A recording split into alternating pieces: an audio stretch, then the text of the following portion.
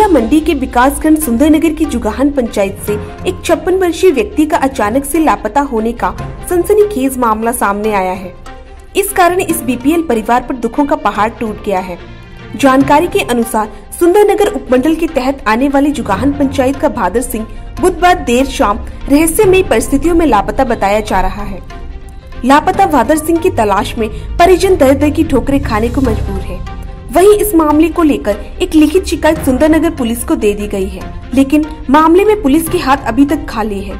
लापता वादर सिंह के भाई लेखराज ने कहा कि पिछले कल बुधवार को उनका भाई अपना फोर व्हीलर लेकर घर से काम पर निकले थे।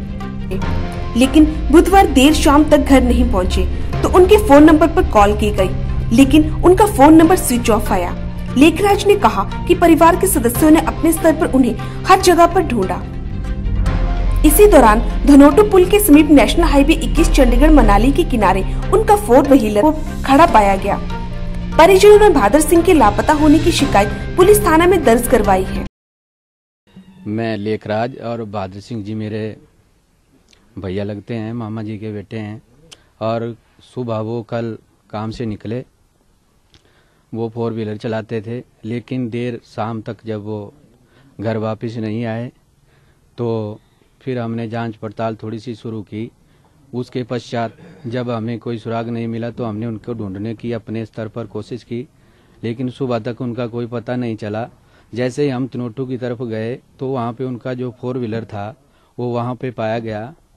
लेकिन उसके पश्चात हमने सीधी ही पुलिस में रिपोर्ट की और पुलिस वालों ने भी अपने स्तर पर थोड़ी जाँच पर जाँच पड़ताल की। लेकिन अभी तक उनका कोई सुराग नहीं लगा है।